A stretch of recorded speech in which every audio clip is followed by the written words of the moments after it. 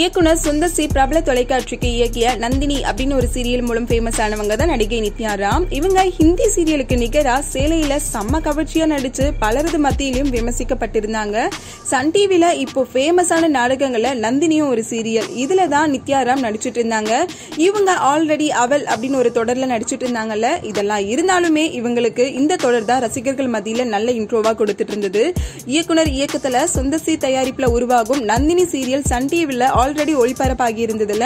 இந்த தொடர் மூலம் அதிக ரசிகர்களை இம்ப்ரெஸ் பண்ணியிருந்தாங்க நடிகை நித்யா ராம். இவங்க நடிகை ரச்சிதா ராமனோட சிஸ்டர் சோ கன்னட படத்துல இன்ட்ரோ ஆன இவங்க சரியான சினிமா வாய்ப்பு இல்லாத காரணத்தினால இப்போ சீரியல்ல நடிச்சிட்டு வந்துட்டு இருக்காங்க சோஷியல் மீடியால ஆக்டிவா இருக்கும் இவங்க அவங்களோட போட்டோஸை வெளியிட்டு ரசிகர்களின் கண்களுக்கு விருந்து வச்சுட்டு வந்துட்டு இருக்காங்க சோ அந்த வகையில இப்போ ஸோ அந்த வகையில் இப்போ தேனே தேனடையுடன் சுவைக்கும் ஒரு ஃபோட்டோஸை வெளியிட்டு ரசிகர்கள் வாயில எச்சில் ஊற வச்சிருக்காங்க.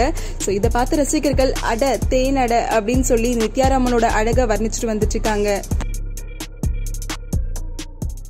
ஹாய் வியூவர்ஸ் உங்களுடைய போரிங் டைமை என்டர்டைன்மெண்ட்டாக மாற்றுறதுக்கு மறக்காமல் தமிழ் காசிப் சேனலை சப்ஸ்கிரைப் பண்ணுங்க.